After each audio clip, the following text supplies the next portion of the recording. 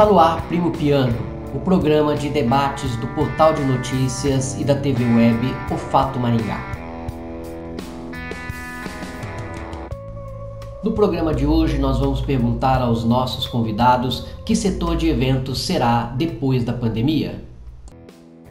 Isso mesmo. Muito obrigado pela participação de todos aqui com a gente. Mas primeiro eu quero lembrar alguns detalhes. Hoje são exatamente 380 dias que vivemos essa pandemia.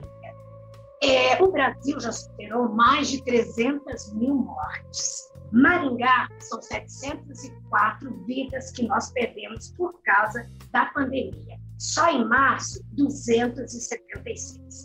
O assunto de hoje é a pandemia, mas falaremos numa outra lógica, numa lógica da economia. Como já falou o Carlos, falaremos do setor de eventos. Que setor de eventos será após a pandemia? E com as pessoas que participarão desse debate hoje conosco está o secretário de Inovação e Aceleração da Prefeitura de Maringá, Marcos Cordiori. Muito obrigado pela sua participação, Cordiori. Obrigado. Né? É um prazer muito grande estar com vocês aqui do Fato Maringá. Eu sou um admirador do trabalho de vocês, reconheço aí todo o esforço de vocês para construir um canal de mídia, um canal de comunicação, um canal de interação. E parabéns por essa iniciativa. Eu acho que a oportunidade de nós podermos debater certos temas é um espaço que ultimamente, infelizmente, as mídias têm perdido e vocês estão felizmente recuperando esse espaço. Então, vida longa ao Fato Maringá e vida longa a esse novo modelo de programa de vocês a todos nós. Um outro convidado que nós temos também hoje aqui com a gente é o vereador Alex Charles, que é, chefe, é líder do executivo na Câmara Municipal de Maringá. É, seja bem-vindo, vereador. Olá, obrigado. Uma alegria poder estar aqui com vocês, falar de um assunto tão importante, realmente é muito sério isso que a gente está passando. É, é muito sério as vidas que estão sendo perdidas mas também é muito sério a crise econômica, a crise social é, que nós estamos passando. São é, famílias inteiras que estão sem ter o que é, fazer, porque estão fechados, e a gente precisa buscar soluções. Então, parabéns pela abertura do espaço, parabéns pelos convidados, todas as pessoas que a gente sabe é, do potencial, da responsabilidade da sociedade maringaense eu espero que seja um bom debate, que daqui a gente consiga encaminhar boas ideias para a nossa sociedade. Parabéns okay. também à iniciativa aí do debate. Ok, um outro convidado que nós também é o empresário e vice-presidente do Hotel, Rony Guimarães. Muito obrigado pela sua participação, Rony.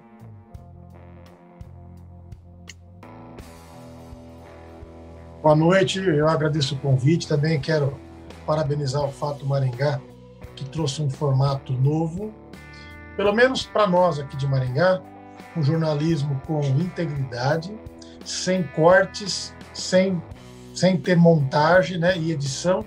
Isso é uma coisa que está faltando, a gente percebe que no Brasil inteiro, pelo menos, a gente busca um jornalismo mais sério e sem cortes. Eu agradeço o convite e no que eu puder ajudar aqui, contem comigo. Um outro convidado que nós temos também para participar desse debate aqui com a gente é Rafael presidente da Brasil, da região noroeste de Maricá. Muito obrigado, Rafael. Obrigado, obrigado pelo convite. Já aproveito o momento para parabenizar pela iniciativa.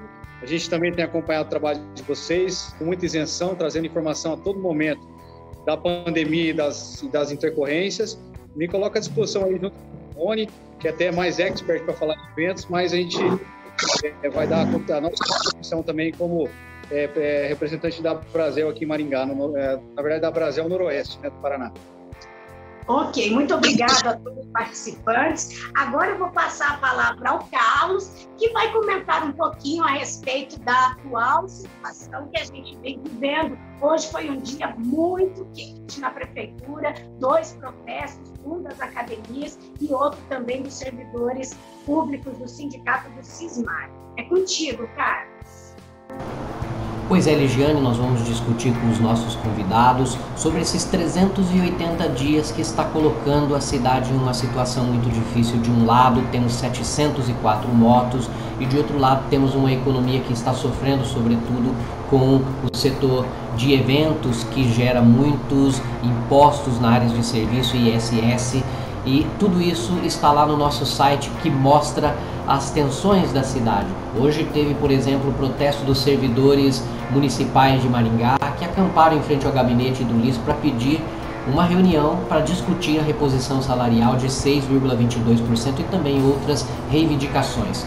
Houve também um outro protesto esse fora da, da, prefeitura, em frente à prefeitura, na Avenida 15 de Novembro, os professores de educação física das academias protestaram pedindo o retorno às atividades e conseguiram, né? Porque no final do dia saiu aí um novo decreto que autoriza as atividades é, nas academias a retornarem respeitando uma série de regras muito importantes nós vamos ver o que vai acontecer nos próximos dias. É com você, Ligiane. É isso. Vamos lá. Cordioli, a gente sabe que está todo mundo com os nervos à flor da pele, quando se abre uma coisa, se fecha outra. Como está sendo governar a cidade diante de tantos decretos, né? Porque um momento você contenta um e outro momento você descontenta outro é um momento muito delicado. Conta para gente e fala também a respeito desse novo decreto que foi publicado agora à tarde aqui em Maringá.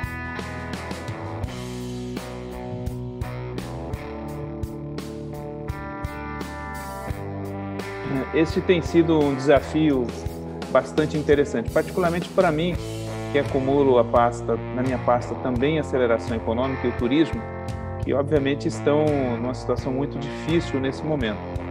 É, mas olha, o que nós sempre temos procurado trabalhar o mais objetivamente possível com as necessidades.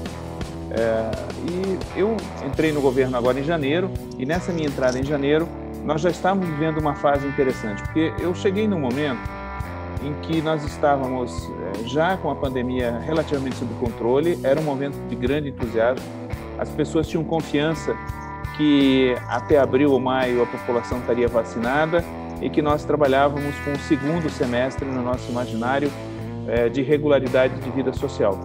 É, isso infelizmente não ocorreu. Tanto é que naquele primeiro momento nós já começamos a conversar com os diferentes setores econômicos, tentamos construir novas regularidades, chegamos a lançar dois programas de aceleração econômica naquele momento, é porque estávamos muito confiantes nisso. Infelizmente veio a segunda onda. É, no nosso caso de Maringá em particular, nós tivemos aí um impacto muito negativo, que foi o feriado do Carnaval. É, nós chegamos a calcular que devemos ter tido em Maringá aproximadamente em 10 dias cerca de 200 festas com entre 150 e 200 pessoas. Né? Então, é, aí nós fomos obrigados na semana depois da semana do Carnaval a fazer o primeiro decreto de contenção Aquilo foi uma grande vitória para nós, porque o vírus estava é, em profunda expansão. É, e depois disso, nós já fomos abalados aí pela P1, a variante P1, que a variante P1 é de fato o grande problema que nós enfrentamos, né? porque as pessoas já chegam no hospital numa situação de gravidade muito maior, ficam muito mais tempo, o período pós-Covid delas é muito grande, tanto é que nós estamos criando agora um plano de contingência de longo prazo para atender as pessoas sequeladas, né? e isso tudo sobrecarregou demais é, todo o nosso sistema. Mas é, o que, que é um fator interessante nisso? É que nós lidamos com duas coisas interessantes. O primeiro, o vírus, que nós não conseguimos ter uma análise dele exatamente diária, né? porque a pessoa é exposta ao vírus, ela leva dois a três dias para manifestar sintomas, e os exames é, estavam saindo com até seis dias de diferença. Agora nós temos um exame na prefeitura que faz com que a gente consiga identificar positividade em até quatro horas, né? às vezes até mais menos tempo que isso. E a outra questão importante também é que boa parte dos dados são disponibilizados pelos tempos de registro, que é o caso dos óbitos. Então, nós sempre anunciamos o número de óbitos registrados no dia, mas não necessariamente o número de óbitos é, do dia. Né? Por conta disso, vocês mesmo têm anunciado bastante aqui no fato.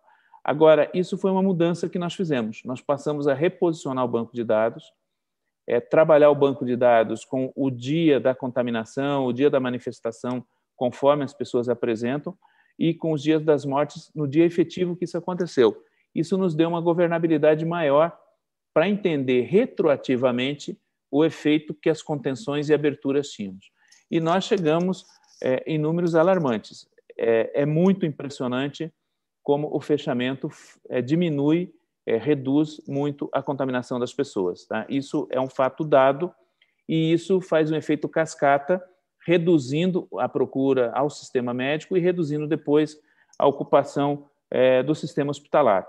A segunda questão, que foi muito dura para nós, é, foi entender as dificuldades de educação da nossa população. Eu, particularmente, que venho da área de educação, tenho mestrado na área, cheguei a cursar meu doutorado pensando nessas coisas, é um impacto muito duro. Veja, por exemplo, nós ficamos sempre buscando alternativas interessantes, né? Até o Secato aí tem sido uma pessoa que tem sempre compartilhado comigo boas experiências, particularmente uma lá de Manaus que nós estamos analisando juntos hoje, né? É, mas o que, que foi interessante nisso? Por exemplo, nós analisamos a experiência dinamarquesa. A Dinamarca conseguiu índices muito baixos, estão entre os melhores da União Europeia, estão entre os melhores da zona do euro, é, graças ao sistema de incentivar as pessoas aí para o ar livre.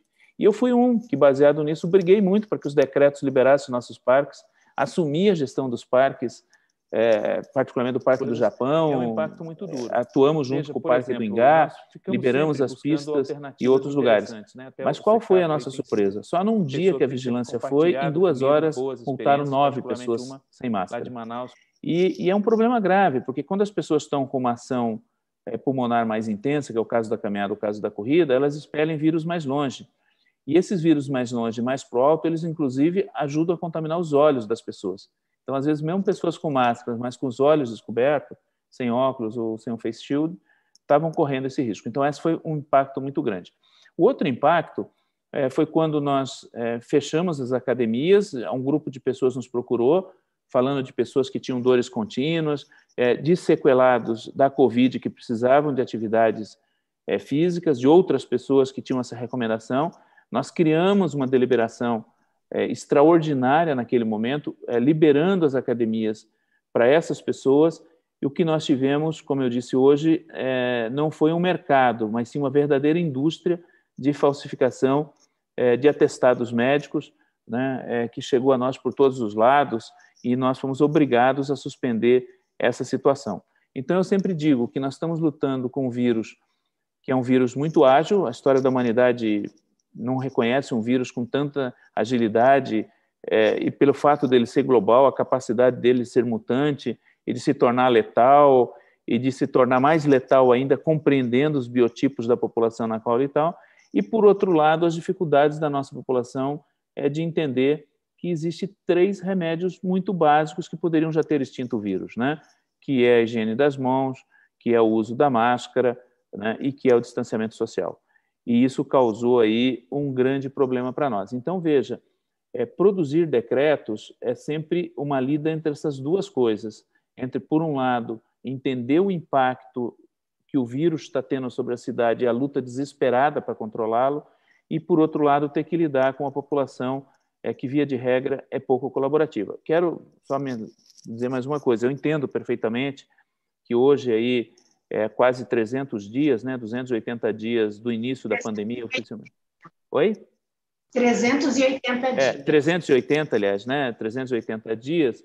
É de fato, as pessoas estão estressadas, as pessoas estão esgotadas, né, aumentou muito problemas de depressão, de pensamentos suicidas, é, sem contar aí todo o impacto negativo sobre a vida econômica, seja de trabalho, seja de empresa. Então, nós entendemos que, de fato, a, a, limitação emocional das pessoas é muito baixa nesse momento, tá?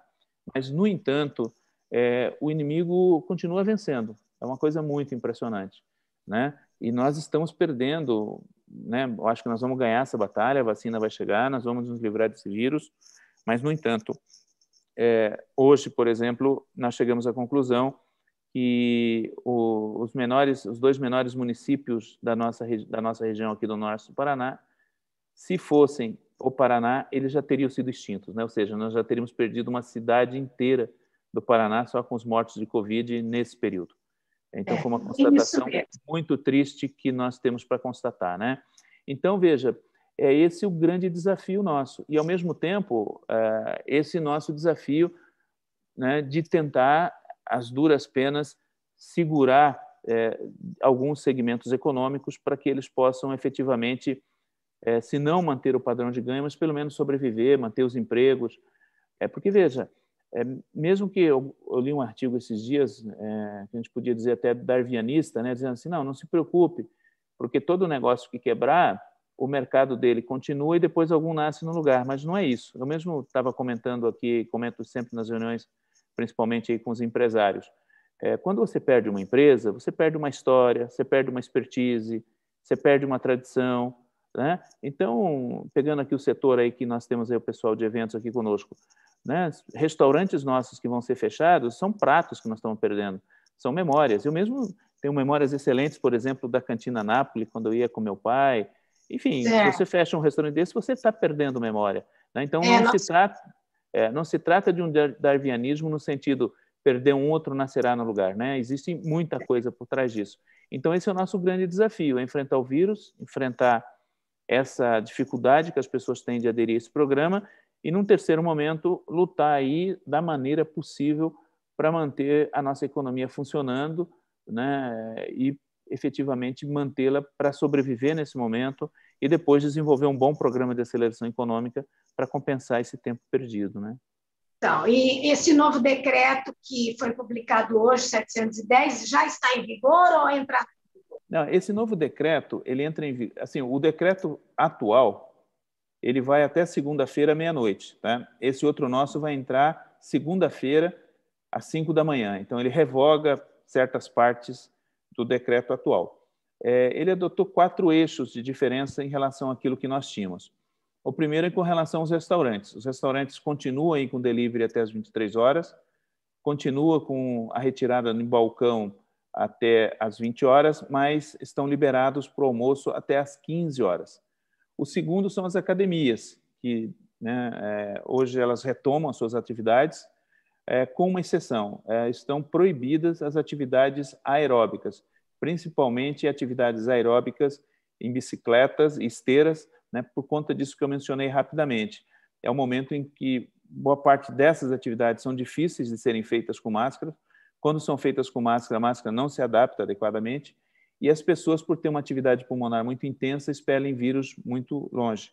Né? Então, isso é, nós entendemos que seria o momento de não liberá-las nesse momento. O terceiro são com relação às igrejas. É, nós acompanhamos o, o, o, decreto do governo estadual, elas ficam liberadas a 15% de ocupação dos espaços, é, só que como nós vamos ter uma espécie de lockdown de três dias na sexta-feira no sábado e no domingo, onde estão liberados apenas é, comida por delivery, é, postos de gasolina sem conveniências, é, delivery de gás e, e, farmácia, tanto atendimento presencial quanto delivery, né? e as clínicas médicas também estão liberadas para esse feriado, é, aí nós entendemos também que as igrejas poderiam constituir um espaço de oração e também um momento de recuperação das pessoas, elas podem subir de 15% para 30%. Tá? É, e, além disso, é, num, num, uma abertura já nossa, sinalizando aí a questão da educação, nós liberamos os chamados cursos livres. Tá? Então, aulas de dança, de música, de artes, cursos profissionais, cursos de idioma, reforço escolar, eles estão liberados para a turma de até quatro pessoas, desde que respeitado o espaço de 12,5 metros quadrados por pessoa. Né? Bom, eu também quero elogiar aqui o secretário Cordioli, que hoje é a segunda vez que eu converso com ele, embora a outra vez foi ao vivo, e eu acho que houve um grande avanço para o município com a chegada não só do, do Marcos, como também do Tamura, do Elmer e o circuito de eventos e turismo. Embora a gente entende que o setor de eventos paga um preço muito alto, não é só em Maringá, é no, no mundo inteiro, né?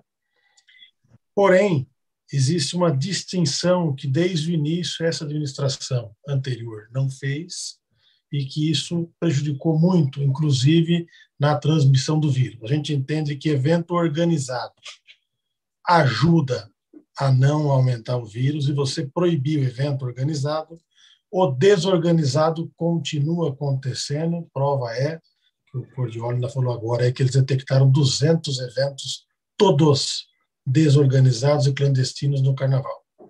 E aí eu pergunto: alguém que está dirigindo sem carteira de motorista ou vencida, ou usando tornozeleira eletrônica, respeita a lei? Não. Então, quando você tem um evento organizado, um restaurante organizado, que cumpre o protocolo, até a pessoa que está lá e que não tem tanta educação para cumprir o protocolo, se sente na obrigação de acompanhar os demais. É mais ou menos quando você vai na Disneylândia e você não joga papel no chão porque você não vê nenhum papel no chão. Isso ajuda a diminuir o vírus. Eu diria o seguinte: na atual conjuntura, o volume de mortes que nós temos na cidade, que de fato excedeu qualquer expectativa, o volume de internação e de conhecimento da, do, do, cidadão da, da, da, do furor do vírus e a velocidade dele, nem decreto precisaria. Hoje, o restaurante que abrir vai ter um movimento muito menor, o comércio que abriu está com um movimento menor. A única coisa é que você manter tudo fechado, você vai aglomerar no supermercado. Isso é ponto pacífico. E eu tenho uma coisa que me irrita nesses decretos é quando eu passo em frente uma agência bancária ou qualquer outra coisa, aquela fila lá fora. E para mim é uma coisa muito óbvia, embora eu sei que o comércio prefere trabalhar menos horas só que, para nós contermos, se o nosso foco é diminuir a contaminação, é obrigar o, o comércio a abrir mais horas. É uma coisa lógica. Mais horas, menos aglomeração. Isso é óbvio. Não precisa ser muito inteligente para perceber isso. É uma coisa simples e óbvia. Então, eu acredito que os decretos hoje são desnecessários com esse volume de morte, mas entendo que a educação do povo é muito difícil e a gente, infelizmente, é, é obrigado, às vezes, o prefeito a tomar uma decisão que descontente aqueles que ajudam no, no enfrentamento, mas ah, para poder punir uma vez que também é claro para nós que o poder público é ineficiente, sem medo de errar, no cumprimento da fiscalização, porque não tem estrutura para isso e não consegue ter. Outra coisa que faz o povo ficar contra a administração, e aí, Cordioli, eu sei que você não merece ouvir isso, mas faz parte. Democracia assim, né, Alex? o poder público não deu em nenhum momento exemplo para os decretos ou para os decretados. Todos os funcionários públicos não pagaram um centavo do bolso, não abriram mão de nenhum privilégio, não perderam um centavo sequer, todos do Poder Judiciário, Executivo Legislativo, e isso deixa a população assim. Ué, eles mandam eu parar, fico em casa. E quem paga minhas contas? As deles recebe certinho. Então, essa falta de exemplo, de sentir na pele o que o cidadão está sentindo, é que faz o pessoal desobedecer o decreto. Minha opinião é mais ou menos por aí. Quando, quando é o decreto de agora, eu acho que é um decreto de novo, que poderia ser muito melhor. Eu acho que restaurante. Oh, oh, bom, Basta ver que o pessoal está almoçando aonde hoje? No Caseirinho, no Rancho Mineiro, só que está aberto. Lá em Marialva, eu, eu fui para São Paulo semana, que eu fui no Buffet França, é, o meu irmão falou que tinha fila para almoçar no Amigão, que está aberto. Então, quer dizer, você vai aglomerar em alguns outros lugares. É óbvio, isso é 2 é, é mais 2, 4. Certo, agora vamos ouvir a, as palavras do Secato. O que ele acha a respeito desse novo decreto? Bom, eu eu endosso basicamente tudo que o Rony falou. É, o Rony ele aborda a questão de eventos, né, da, que tem bastante expertise. Eu tenho que eu tenho que concordar que o, a presença do Cordioli na secretaria foi um bálsamo para a gente, né? Foi um canal de comunicação que a gente não tinha no passado. E assim, eu tô nessa, a gente está nessa luta há um ano já, né? É, há um ano que eu, eu me lembro que a gente fez uma reunião com o antigo secretário de saúde e que foi nos passado um cenário né, de terror mesmo. E, e de lá para cá a gente amargou esses momentos de abre e fecha, né? É, e aí é muito me chamou o, o, que nos causa estranheza são esses esses aspectos ambíguos, né? Você aqui em Maringá você tem um fechamento de um restaurante, né, organizado e que, que respeita protocolo, e você ir numa cidade vizinha e, e você ter à disposição esse serviço, né?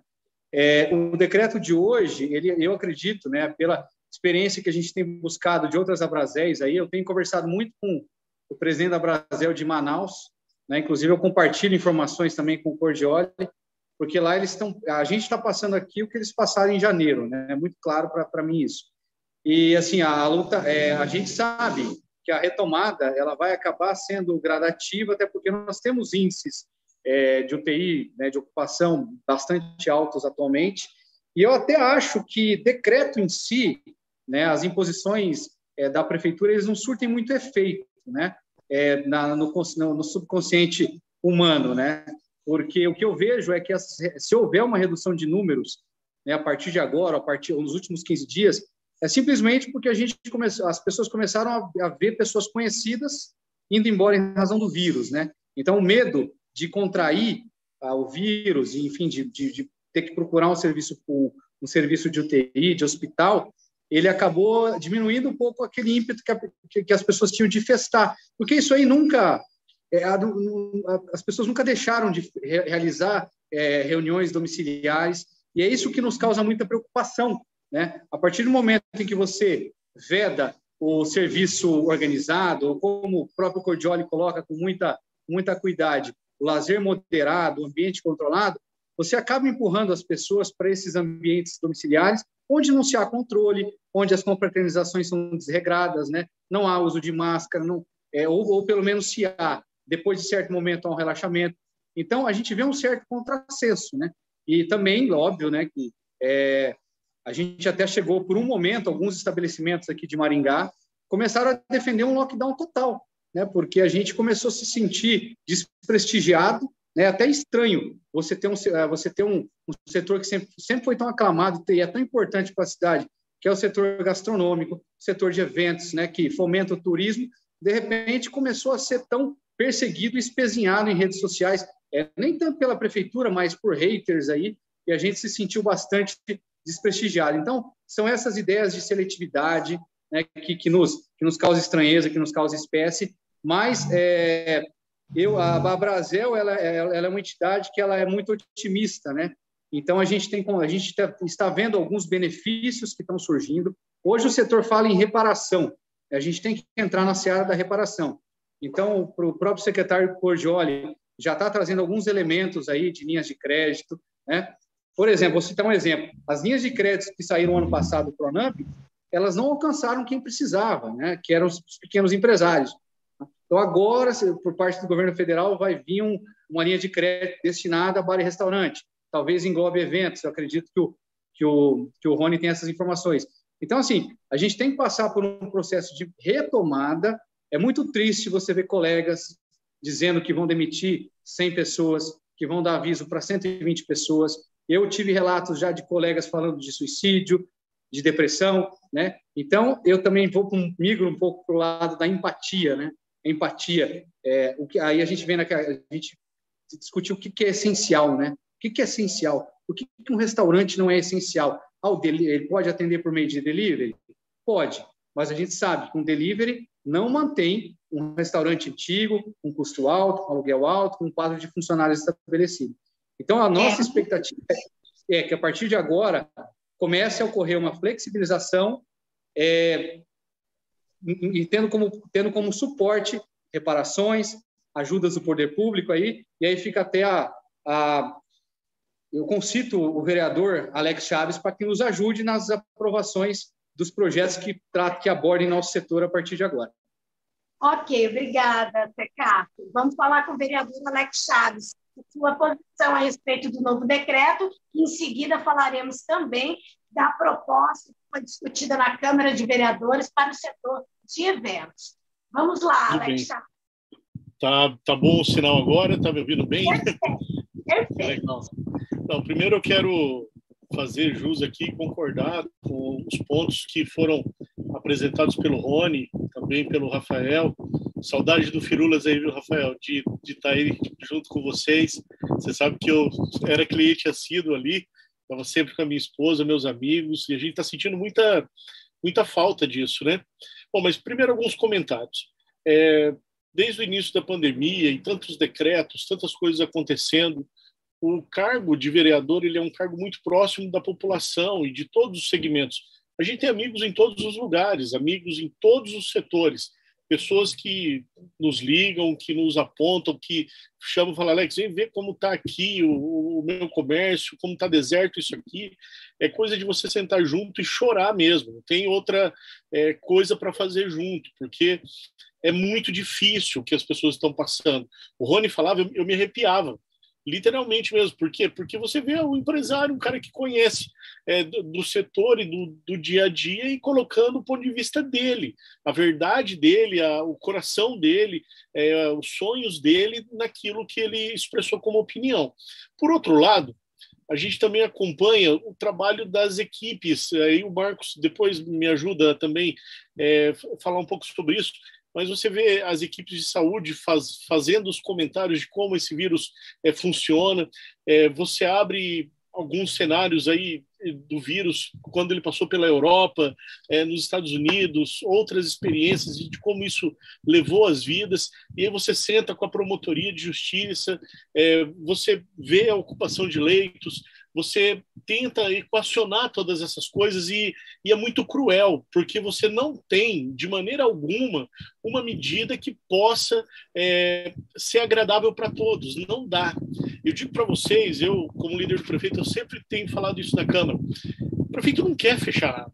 Isso não é desejo dele. Se ele pudesse, não fecharia acreditem em mim quando eu digo isso, sabe?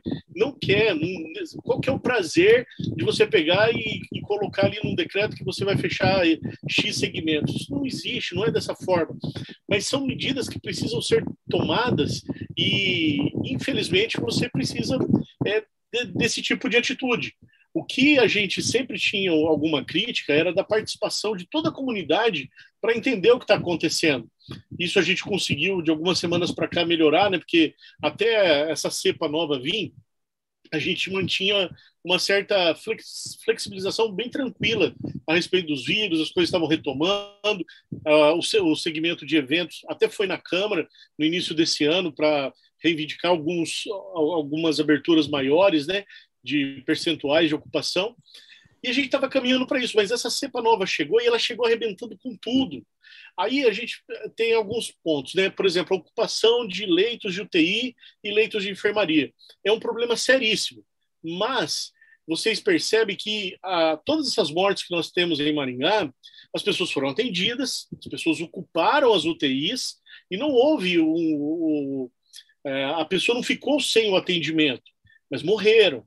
Então, o que, que acontece? A gente tem, eu aprendi isso no ano passado, durante a pandemia, a tal da imunidade de rebanho. O que, que acontece? Com o vírus ele vai é, se espalhando, ele vai se tornando um pouco menos é, selvagem, agressivo na, na cepa dele.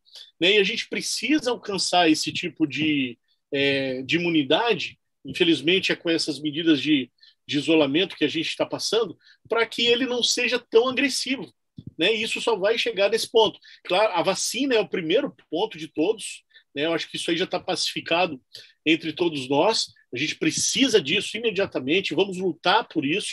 A gente aqui na Câmara também tinha é, tentado fazer algumas medidas para os decretos chegarem antes, a população ver antes. E vocês viram, agora foi muito bacana. A gente está na sexta-feira e as medidas apresentadas, né, Marcos, elas são para segunda-feira. Então, o empresário, né, consegue se preparar, consegue é, conversar com, com as pessoas, isso já é bom senso da administração, já, já demonstra né, esse apelo que a Câmara fez, que a sociedade está fazendo, para a gente chegar em algum ponto. Quero agora é, finalizar esse primeiro comentário falando sobre o que o Rafael falou aqui, é, das medidas que não alcançaram os empresários no, no ano passado e que, infelizmente, a gente percebe que vai ter muita dificuldade nesse ano também, porque os bancos é, não estão dando taxas interessantes. A gente está tentando aí buscar algumas medidas para que o Poder Executivo faça algum tipo de aporte para a gente ter é, acesso a crédito melhor, mas está muito complicado.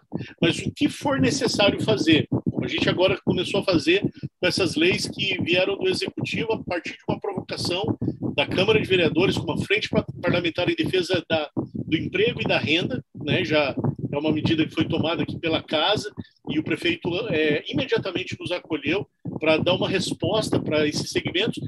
A gente vê né, esses, esses dois meses de 500 reais, eles não são nada, né, diante da dificuldade que está passando e do desastre social que está acontecendo é, no segmento. Mas é um sinal. E esse sinal ele precisa provocar outros setores também, gente. Precisa provocar o governo estadual, governo federal, para também auxiliar. Né? O, o, município ele tem um, é, um limite de alcance. Vocês sabem isso. De cada 100 reais que são arrecadados aqui no município de Maringá em impostos, apenas 12 reais retornam. O resto fica tudo no governo federal e governo estadual. Então, assim, a gente tem aqui a nossa responsabilidade, a gente tem é, o empenho e a vontade é, política de resolver algumas coisas, mas a gente não pode resolver tudo. As pessoas reclamam muito, Rony, no setor de, de eventos, sobre a questão dos aluguéis, né, que tem espaços enormes que estão é, fechados desde o início da pandemia e não teve refresco nenhum para esses setores. Mas a solução para isso tem que ser do governo federal. Né? Tem que haver algum tipo de negociação diferenciada. Então, é apenas um comentário que eu queria fazer sobre o decreto, sobre o cenário e sobre aquilo que a gente está vivendo, disposto a fazer. E quando eu digo disposto, a gente está disposto mesmo. É, a gente tá, vocês viram, a gente passou pela, pela pandemia é, com, com bastante polêmica, enfrentando bastante dificuldade, mas passamos por ela tentando apresentar alguma solução e a gente está pronto para continuar tentando, é, da maneira que for possível, né, é, continuar apresentando essas soluções aí para vocês. Certo, então, e a gente falando da Câmara Municipal, não podemos deixar de falar dos, dos assuntos que foram discutidos ontem na Câmara Municipal a respeito da proposta que vem do Executivo, que é esse auxílio emergencial para o setor de eventos, um auxílio de mil reais. Vamos explicar para a população do que se trata esse requerimento e para quem vai servir. E como você é o líder da, do executivo na Câmara, é por isso que nós convidamos você para explicar essa, essa proposta para nós. Ah, então vamos lá, né? O que que o que que acontece? A gente está é, desde o do início da pandemia passando então por toda por toda essa dificuldade, né? Da, da, da ausência de rendimentos e de qualquer tipo de, de benefício para esse setor né? Diversas vezes a gente ouve a palavra abandonado, né? Com toda a razão.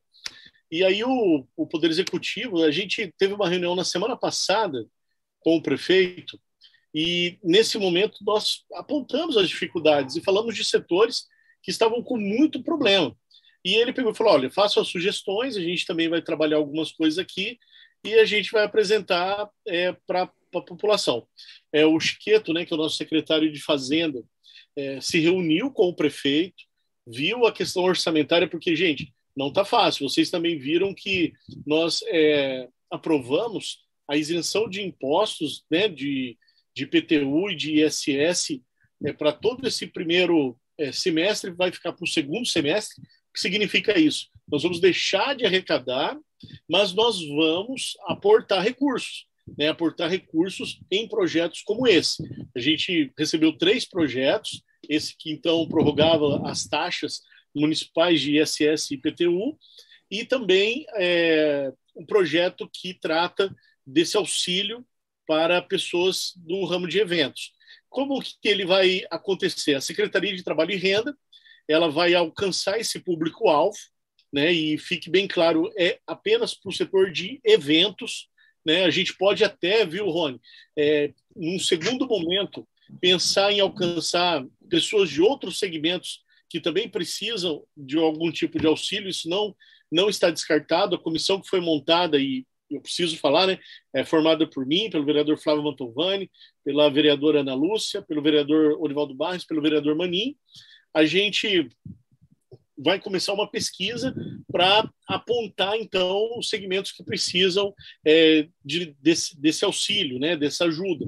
Então, no primeiro momento, seriam todos os técnicos de evento, os que trabalham com iluminação, cenógrafo, som, figurino, produção, montagem, os músicos, garçons, fotógrafos, cinegrafistas, decoradores, recepcionistas, assessores, promotores, confeiteiros, e aí você lembrou bem da nossa conversa que estava tendo aqui é, em off, os cozinheiros que é, estavam faltando aqui na lei, né?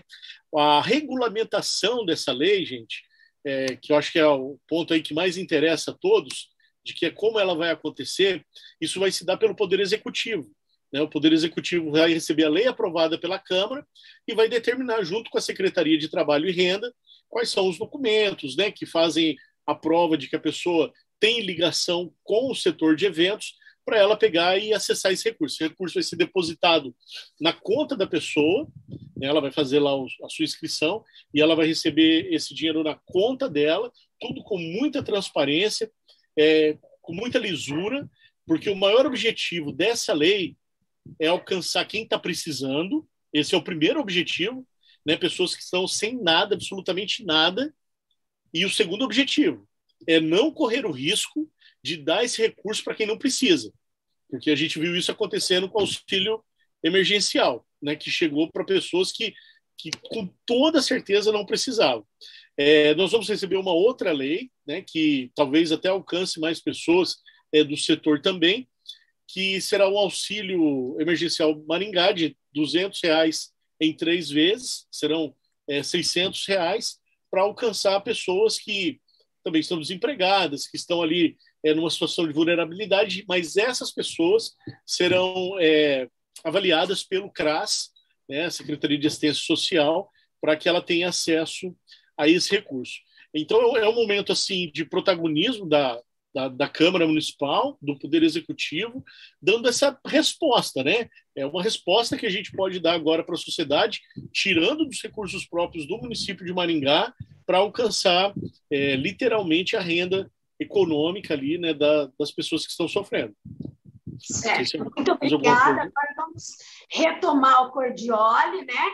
para que possa falar também a respeito dessa proposta, dessa lei que foi apresentada aí na Câmara Municipal, para esse setor que vem sofrendo tanto há mais de 380 dias, se não o setor que mais sofreu, eu acho que foi o setor de eventos e turismo. Fala, é, secretário. É, com certeza. Veja, eu acho que o, essa questão da reparação, que obviamente não, não é uma reparação na dimensão que precisa ser feito, mas é um entendimento que nós temos. O vereador Alex Chaves, eh, ele foi sempre muito presente conosco, isso que ele falou, ele, a proximidade do vereador, né, ou dos vereadores de uma forma geral, mas dele em particular, é, como líder do nosso governo, é, com a proximidade, sempre é, insistiu muito com essas políticas de reparação. E aqui vem, acho que, a primeira questão importante. as políticas tanto de preservação de emprego quanto as políticas de preservação de empresas são atribuições pelo Pacto Federativo do governo federal. Né? E, então, a ação que a prefeitura está fazendo hoje é uma ação complementar, ela não é ação definitiva. Né? Tanto é que, quando nós tivemos o PRONAMP num primeiro momento e tivemos o, o auxílio emergencial do governo federal, a situação foi muito melhor do ponto de vista do Brasil. Infelizmente, esse ano, não quero entrar aqui num debate ideológico, né? mas me parece que nós vamos ter uma retomada desses dois programas agora, embora, é, como o, o, o Secato falou, né, o Pronamp ele ficou longe de alguns setores, mas, digamos assim, é, há um entendimento entre nós que essa parte é uma parte que cabe ao governo federal. Na ausência do governo federal, ou, não, nem diria isso, né, nas limitações que o próprio governo federal tem enquanto órgão para atender de maneira universal todos aqueles que precisam, a prefeitura é, passa a atuar efetivamente nesse campo da reparação. Aqui vem a segunda questão importante e uma das, grandes, das duas grandes imponderabilidades que nós passamos nos últimos tempos. Primeiro, é, nós construímos já no início dessa gestão, né, em janeiro, o conceito de evento profissional. Eu dizia isso claramente, falei isso várias vezes, conversei com várias pessoas. Eu acho muito mais seguro é, você estar num bar, num salão é, de festa profissional, né, é, como muitos que nós temos aqui em Maringá, num evento organizado por um profissional de eventos, é muito mais seguro você estar com 80 pessoas lá do que com 10 ou 15 pessoas na tua própria casa ou no salão de festa do teu condomínio, né? Porque você não tem alguém lá olhando, chegando para as pessoas pedindo para pôr a máscara, é, se certificando de que existe o álcool em gel.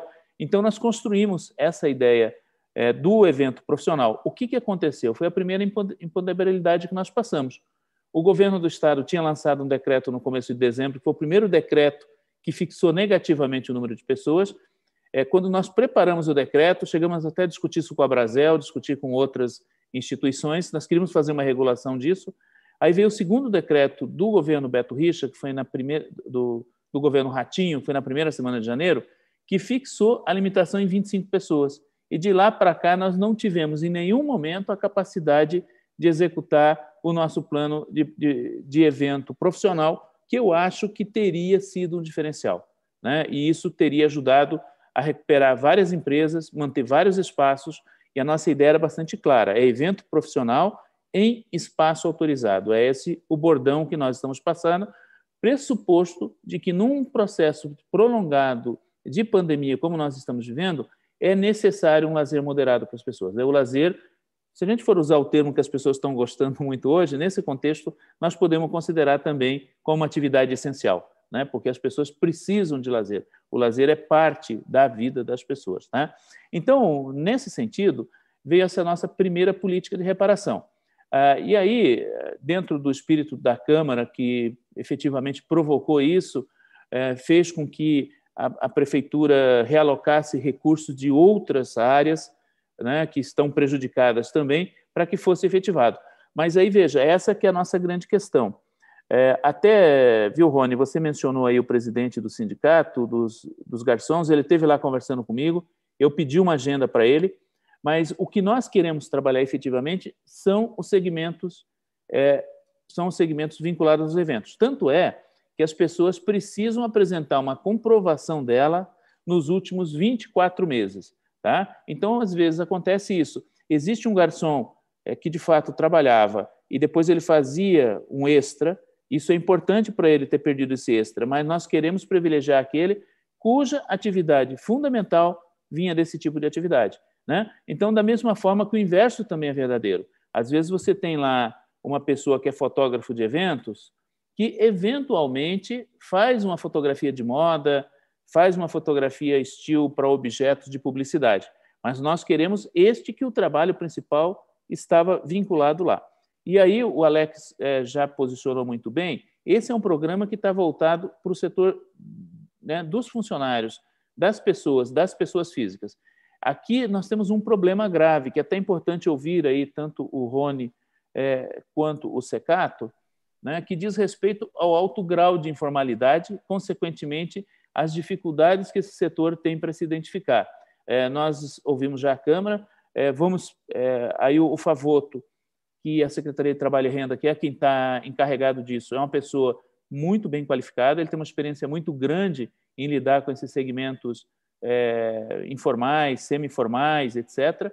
Então, eu acredito muito que nós teremos um ganho, não só no sentido de fazer uma transferência de renda que possa permitir essas pessoas pagarem as contas atrasadas, pagarem as contas de luz, reforçar um pouco a dispensa de casa, né? porque evidentemente que elas estão vivendo de outras formas e nós sabemos de vários setores, no setor de evento mesmo, as pessoas se cotizarem em vários momentos para poder dar cesta básica, né? Então, nós queremos cumprir um pouco esse trabalho, mas eu imagino que a atuação da Secretaria de Trabalho e Renda, em particular do Favoto, com toda a experiência que ele tem, eh, vai nos trazer um ganho de formalização desse segmento também. Ok. É, me diz uma coisa, e essas propostas a gente fala a nível é, local, mas a gente sabe que também na Câmara dos Deputados e no Senado também estão se discutindo o setor de eventos, então é, a gente tem que ficar muito atento ao que vai acontecer em Brasília para a gente também se programar a nível local, né, Cordioli? É, veja, eu tenho dito isso, até numa conversa com vocês, eu já mencionei isso, e mencionei principalmente nas reuniões que eu tive com o CODEM. Para mim, a, a grande lição que já sobrou dessa pandemia é que o nosso país é um país que não está preparado para a resiliência. Eu acho que a única prefeitura no Brasil que tem uma secretaria de resiliência, resiliência é a prefeitura de Salvador. Eu desconheço outras. Mas eu, eu sempre faço um exercício interessante. É, se nós, há 20 anos atrás, tivéssemos guardado meio por cento do orçamento municipal, hoje nós teríamos 10% desse orçamento, que já teria rendido, já teria rendido juros, correções, poderia ter funcionado até como uma espécie de FGTS, financiando o desenvolvimento da cidade, mas aí sim é, nós poderíamos, é, por exemplo, ter decretado um lockdown, digamos, de duas ou três semanas e ter pago os salários, pelo menos uma renda básica para as pessoas e pelo menos um complemento de renda é, para os empresários. Né? Então, eu acho que isso, ou pelo menos para aqueles setores afetados, obviamente. Então, isso é uma situação que nós precisamos lidar. A segunda questão é, que nós estamos enfrentando hoje, nessa questão também, ela diz muito respeito a quem é autoridade de fato. Né? Eu penso que numa pandemia como essa, também não quero entrar aqui em questões ideológicas, mas deveríamos ter sempre uma ação nacional com critérios muito bem claros que permitisse as diferentes regiões. Então, por exemplo, nós estamos agora evoluindo muito positivamente em fechar cinco cidades conurbadas conosco. Né? Temos conversado aí bastante com os prefeitos, isso tem evoluído. E também acho que essas decisões de abre e fecha não deveriam ser decisões da prefeitura, devia ser da autoridade sanitária competente que deveria fazer isso, considerando critérios absolutamente técnicos, né? É... Aí entra uma outra questão.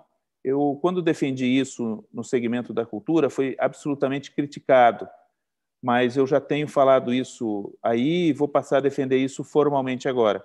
Nós precisamos chegar num sistema de classificação de nível dos nossos equipamentos da área de eventos, turismo, aonde evidentemente que restaurante A, por sua história, sua tradição, sua qualificação, é diferente de restaurante B, né, que sem querer desmerecer, é como tudo na vida profissional. Existe uma, né, uma competência. As pessoas fazem um curso, fazem uma residência, fazem um estágio, fazem um MBA, têm experiências diferentes e nós sabemos que profissional A e profissional B, com histórias distintas, podem ter o mesmo classificação de nível, porém existe diferença entre um que já está na estrada há mais tempo com uma boa qualidade e um outro que não tem qualidade.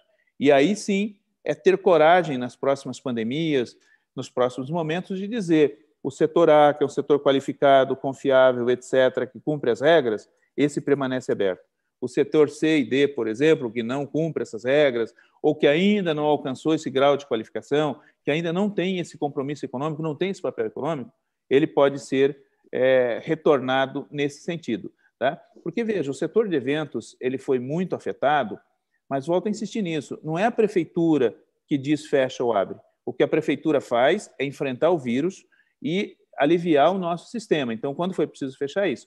Num debate que nós tivemos com o setor de eventos, eu disse o seguinte: infelizmente, a característica desse vírus acertou um determinado segmento. Vamos imaginar aqui, numa, numa figura de ficção científica, que nós tivéssemos um pulso magnético e tudo que é equipamento eletrônico tivesse sido destruído. Então, o iFood estaria hoje paralisado, as vendas do e-commerce estaria paralisada, então o Magazine Luiza, a Avan, o Mercado Livre estariam profundamente em crise e quem estaria ganhando seria as nossas lojas de porta para rua.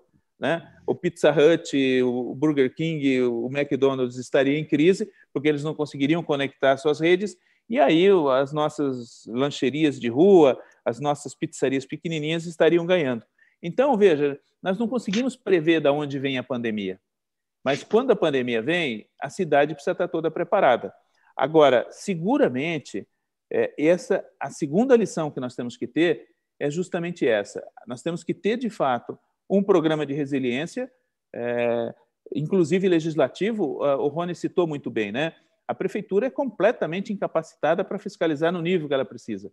Nós deveríamos ter um outro sistema de fiscalização que envolvesse, por exemplo, o Exército, que envolvesse outras forças públicas, enfim, né, que nós pudéssemos ter convocado é, reservistas, enfim, eu acho que existem. É porque, na verdade, né, Cordiola, é tudo muito novo, né? É tudo é, são muito novo. situações, assim, não adianta, não adianta, a gente querer colocar uma culpa de algo que é. ninguém é, é desconhecido para todo mundo, né? É. Agora eu vou conversar com os empresários, daqui a pouco a gente volta a conversar novamente.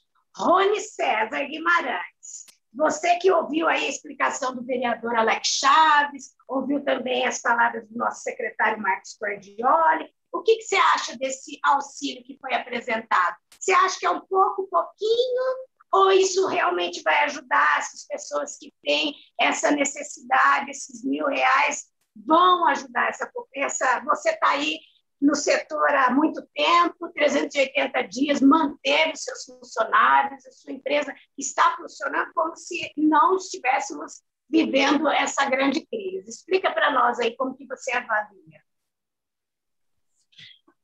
Então, eu entendo assim, entendo que é atrasado, esse, esse auxílio já está atrasado, porque o nosso setor, eu, eu posso dizer que estou há 380 dias, eu e uma boa parte do meu segmento salvando vidas muito mais do que o prefeito, porque nós não estamos fazendo nada. Então, estamos parados. Se isso é salvar vidas, o setor de eventos deveria merecer uma medalha de diamante, né, de ouro. Muito bem. O que eu me refiro é o seguinte: o nosso prefeito, erroneamente ou corretamente, ele tem um discurso que ele tem 500 milhões de superávit, é o discurso dele. Tem 100 milhões no caixa para comprar vacina, e ele está disponibilizando um milhão para mil pessoas do setor de eventos. Eu fiquei contente de ouvir isso do, do, do vereador Alex Chaves, que é o líder do prefeito, que vai contemplar também garçom. Eu acredito que tem que fazer uma triagem boa, porque infelizmente é fato, é, tá aí o nosso programa Fato, que pessoas que de fato não precisem vão tentar receber. Essa triagem tem que ser bem feita, mas acredito que vamos ter bem mais de mil pessoas com necessidades no segmento. Então, eu, eu sugeriria ao prefeito e à administração que está aí, se de fato o foco é na vacina, e eu, eu acredito que a vacina tem que ser foco, deveria fazer uma campanha, não sei se o município pode fazer isso, mas me parece que Brasília já deu uma brecha, o STF também, e liberar quem quiser comprar vacina para os seus funcionários, cotizar, já que a vacina é importante, de onde vem o dinheiro não interessa. Então, liberar a compra de vacina para as pessoas privadas, as empresas, assim está fazendo um movimento nesse sentido também, e deve ter outras associações, que quanto mais vacina, melhor. Eu tenho uma visão otimista, eu sou muito otimista, de que nós estamos próximo da imunidade de rebanho. Nós temos em Maringá na minha conta básica, para cada um positivado, tem pelo menos mais três que foi positivado e não fez teste, nós temos mais de 100 mil pessoas já imunizados com a melhor vacina, segundo o doutor Roberto Zebalos, que é o Covid, eu sou um deles, inclusive. Né? Então, nós temos já mais ou menos 100 mil pessoas. Com mais 30 mil vacinados, nós vamos acelerar bastante. Se conseguir mais 50 mil ou 100 mil doses, que são 50 mil da iniciativa privada, mais 100 mil do governo federal, e a prefeitura se comprar mais 100, nós podemos estar imunizando todo mundo em 30, 60 dias. Agora, se eu quero para mim o louro, não, eu quero, eu sou da SIM e o SIM de hotel é que fez isso. E mesmo que demore a vacina, eu acho que isso não é salvar vidas. Isso é querer é, é glória. Nesse momento é fazer um, um, movimento, liberar quem quiser comprar, compra. Se todo mundo acha tem esse entendimento que a vacina é a melhor solução, por que proibir a compra de vacina? Eu não consigo entender. Se, tá, se, se é patente que é o caminho, libera. E se a prefeitura tem os 500 milhões de superávit, distribui, porque nesse momento o município está precisando. Mandar fechar é uma coisa, pagar a conta de quem está fechado é outra. Quando você vai no, num restaurante e manda, eu quero exclusividade, você paga a conta sozinho. É isso para o vereador Alex, que está é, analisando os setores, vereador, olha com carinho para a hotelaria. Passa por uma fase negra. Hotelaria está aí, o nosso turismo aqui é turismo de eventos e de viagem. E com o Zoom e com as internets, com as reuniões via, via WhatsApp, WhatsApp não, pela, pela, pela, pela internet, é pela, pela, pelos os, os aplicativos, isso diminuiu muito, estão em crise violenta. E aí, alguns donos de hotéis, de buffet, de, de banda e tudo mais, que têm outras rendas, muito bem. Mas aqueles que trabalham, camareira, hospital, que trabalham nos hotéis e nos buffets, estão precisando, principalmente os extras. É por aí. Eu acho que se nós temos esse capital, é hora de distribuir, claro, com segurança, e fazer uma triagem bem feita e fazer acontecer e propor liberar vacina para quem quiser comprar. Por exemplo, um exemplo daquele, daquela rede cross. Eu não entendi por que, que a prefeitura não Sim, peitou a vereadora e não foi a favor. Quanto vamos, mais opção, prometeu... mas quanto mais opção, melhor. É Rony, nós prometemos que não ia entrar nesses detalhes, né? Porque é questão judicial e não. Não, não, não sim, sim. Mas eu digo o seguinte: se estão ajudando, ótimo. Tá bem, isso aí, não importa de onde vem. É, vamos lá, vamos mudar de assunto.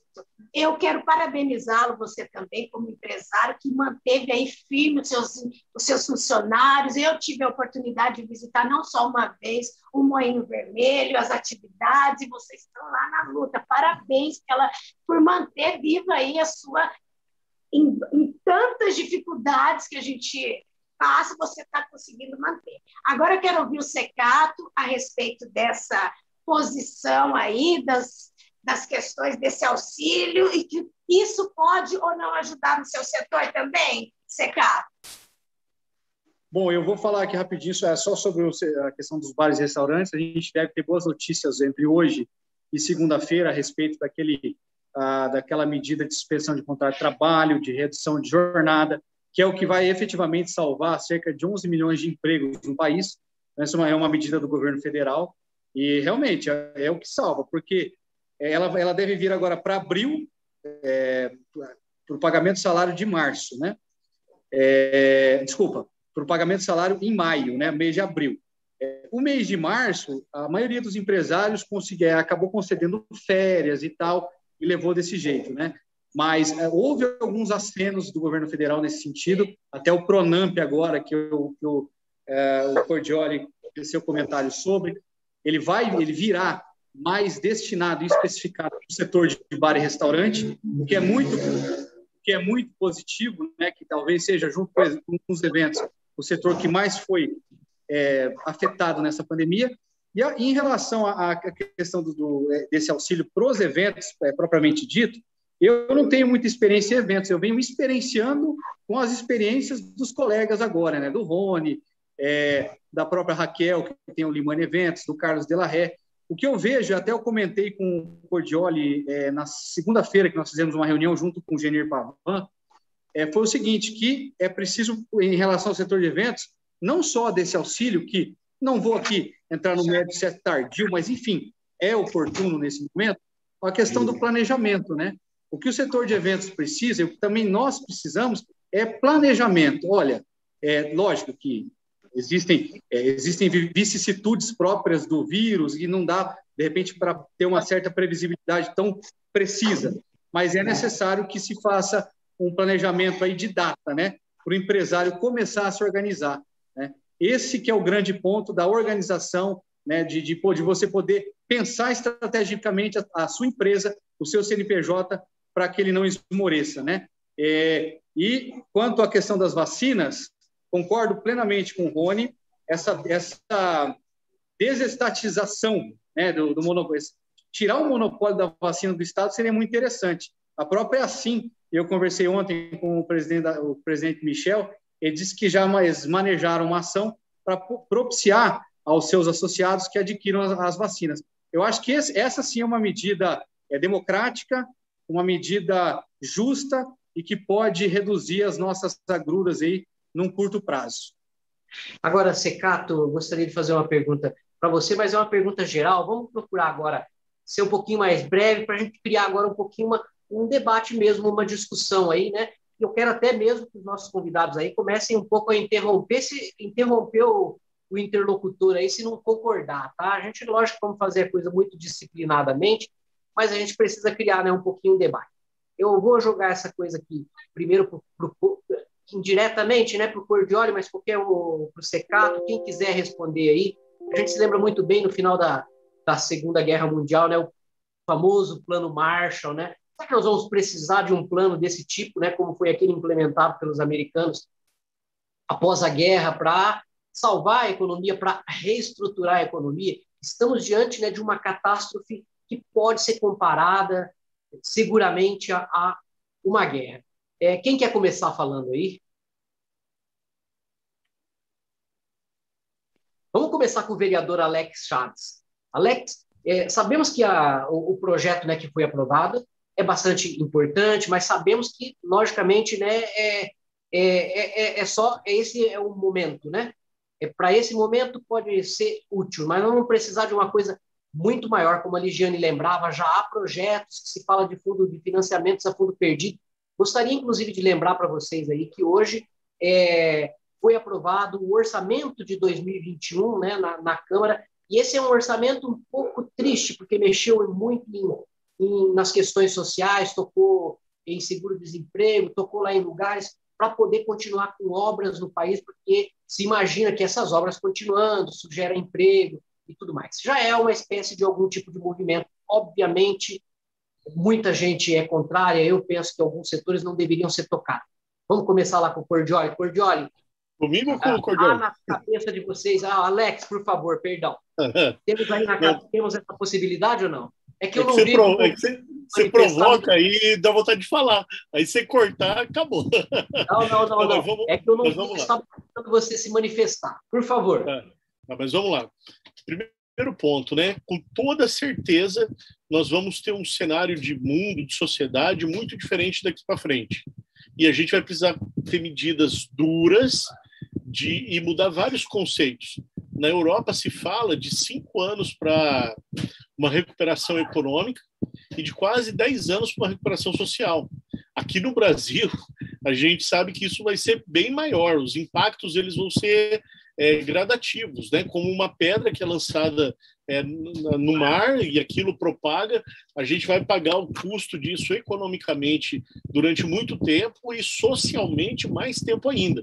É, você vai ver isso na economia, vai ver isso na, na saúde, vai ver isso na educação, é, os nossos jovens passando por privações, está horrível o cenário. Então a gente vai mesmo ter que ter um plano é, de ação parecido, né? Vou pôr entre aspas aqui o que eu o que eu vou falar, mas é o que eu acho que dá para servir de, de exemplo. Quando a gente teve uma Assembleia Constituinte, que você levou todo mundo para Brasília para pegar e propor é, uma Constituição para o Brasil, você vai ter sim que juntar as cabeças pensantes do país, um país que vive de commodity, né? a gente sabe disso, a gente não vive do nosso, do nosso intelecto, a gente não produz é, é, conhecimento, nós produzimos comida para o mundo, né? desse jeito que o que o Brasil é, é, conhecido em todo o mundo, mas nós vamos ter que juntar as cabeças pensantes desse país e vamos ter sim que parar de dar jeitinho nas coisas, de parar de é, tirar proveito das coisas, seja esse proveito econômico ou eleitoral, tá? Porque tem muita gente usando é, é, do, do que está acontecendo na pandemia de palanque, sabe, com propostas absurdas, com propostas populistas, com coisas que não vai resolver nunca, jamais o problema de ninguém. Tá? Não vou citar nenhum tipo de governo e nenhum tipo de, de figura, mas isso aí é evidente para quem abre Folha de São Paulo e qualquer tipo de, de jornal nos dias de hoje. E aí, então, a gente vai ter que propor essas medidas, né? vai ter que ter. Aqui, e eu, eu, agora falar aqui para vocês um ponto, né? já direto aqui na resposta. O município de Maringá está propondo. Essa isenção de ISS, de PTU, gente, isso é um corte na carne de um, de um efeito sabe, imenso. Né? Hoje vocês viram. Só, só, só, já, que pode, já que pode interferir, não é isenção, é prorrogação. Prorrogação. Não está isentando ninguém. Isso, não, mas é veja, Rony, não está isentando ninguém, mas só de juros e multas atrasadas de janeiro e fevereiro significa a renúncia de um milhão de reais hoje. Ou seja, o município está abrindo mão de receber um milhão de reais para poder prorrogar os, enfim, os, os atrasados de janeiro e fevereiro e é a mesma coisa que iria acontecer nos outros meses. De fato, não é isenção, é uma prorrogação, mas essa prorrogação tem um aspecto de renúncia bastante importante aí. Nosso é um vereador né, tem nos defendido muito claramente nisso. E é um dinheiro okay. que você nunca mais vai ter, entendeu? Esse dinheiro a longo prazo ele iria, iria se multiplicar. Mas o que eu quero chegar no ponto é o seguinte: aquilo que é possível fazer enquanto o braço da administração municipal pode alcançar, nós estamos tentando fazer.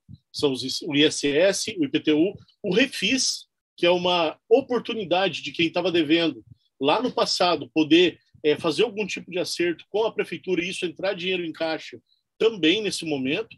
Agora fica aqui uma, algumas, alguns questionamentos de quem é a administração da Copel, da Sanepar, sabe, de, de coisas essenciais para tantos é, segmentos que continua vindo a, a, conta e você precisa pagar ela, mesmo que esteja com Alex, o por favor, segmento fechado. Vou, vou eu, né? vou eu também interromper você um pouquinho para dizer sim, é verdade, e tem todos esses aspectos que vocês estão dizendo de renúncia, mas é a preocupação que me parece que os empresários têm nesse momento, tem conversado muito com amigos como ah, de alguns restaurantes, por exemplo, não, não vou nem citar, porque é uma situação bastante é, delicada e difícil, muitos dizem assim: olha, é, sim, são medidas importantes para quando eu posso gerenciar aquilo que eu estou produzindo, né? mas eu não sei como vou fazer para pagar o financiamento que eu fiz de 30, 40 mil para poder, é, porque o governo federal não renovou né, aquela cobertura para os empregados que ficavam em casa no primeiro, na primeira fase da pandemia. E então isso criou também uma grande incerteza. Muitas pessoas fizeram financiamentos, né, para poder segurar o negócio e que hoje estão com essa dívida e praticamente, né, não estão trabalhando. É por isso que não vamos discutir os méritos da questão, porque nós sabemos que a situação é muito grave. Daqui alguns minutos, encerrando esse essa parte desse debate aqui, nós vamos tocar nos números de hoje aí sim para fazer um balanço em cima daquilo que é. Mas a, o que a gente questiona nesse momento é o seguinte: é, a, a, ideia, por exemplo, essa que foi dada pelo Rony, eu não sei se é factível ou não, mas é, vai precisar aparecer mais dinheiro de algum lugar para que essas pessoas, esse setor muito pujante, que já criou uma situação de Maringá, ficou conhecida, aliás, a Prefeitura de Maringá arrecada muito e deve ser a principal fonte de renda, que é o ISS. O que, que a gente. Já começamos a pensar nisso? Podemos imaginar um tipo de saída desse tipo? Veja, eu acho que é isso exatamente que está sendo posicionado hoje. Porque, veja, à medida em que nós deixamos de cobrar ISS, IPTU, mesmo os refis e outras taxas, é um dinheiro dobrado, é um dinheiro duplo. Porque ao invés, é, por exemplo, de um profissional liberal de uma empresa pagar ISS, ou seja, retirar do seu caixa e transferir para a prefeitura, ele mantém esse dinheiro no seu caixa, seguramente, por seis meses, e lá na frente ainda ele vai pagar sem juro nenhum. Tanto é se você entrar a partir da aprovação da lei e emitir um boleto seu qualquer você nem vai precisar pedir isso. Automaticamente ele já vai jogar lá para frente. Agora, nesse sentido, você tem razão. É, e aí eu acho que o nosso vereador, o Alex Chaves, está coberto de razão. Nós precisamos é de um grande acordo nacional. Nós vamos ter que reposicionar o Brasil. Nós vamos ter que juntar todas as frentes. Nós vamos ter que superar esse abismo ideológico que nós estamos vivendo e nós vamos ter que construir um novo senso de nação. Eu acho que o grande legado dessa pandemia vai ser para que, de fato, nós, a exemplo do que os franceses fizeram na Revolução Francesa, do que os italianos fizeram na unificação italiana, do que os americanos fizeram no pós-guerra civil, vai ser um novo sentido de nação, onde nós vamos ter que superar esse ranço que nós estamos vivendo ideológico, onde nós vamos ter que entender que o país precisa distribuir suas rendas, onde nós vamos entender que o pacto federativo do Brasil é real, que o governo federal tem atribuições, que o governo estadual tem atribuições, que o governo municipal tem atribuições. Vamos ter que parar com essas disputas insanas entre o poder legislativo, o poder executivo e o poder judiciário em várias instâncias.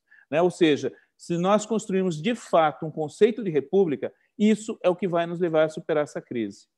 Muito bem, estou gostando muito agora do ritmo que a gente pegou para a coisa e demorou um pouquinho, né? Eu, eu queria, queria, sobre queria sugerir também para o vereador Alex, que é líder do, do, do prefeito, que ficou muito falado uma frase, que acho que o Mário Rossocal foi infeliz, mas foi sincero, quando perguntaram para ele se ele sabia onde foi gasto os 60, 70 milhões que vieram para a pandemia.